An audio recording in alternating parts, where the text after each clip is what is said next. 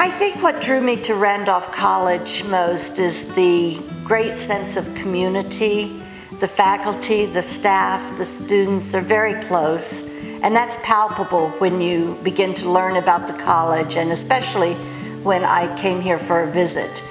As well, when I visited Randolph College, I saw the beautiful campus, the gorgeous setting among the Blue Ridge Mountains, the um, innovation that is shown across the campus, especially with the Take Two curriculum, and just the enthusiasm and the love that our alums and our current students have for Randolph College.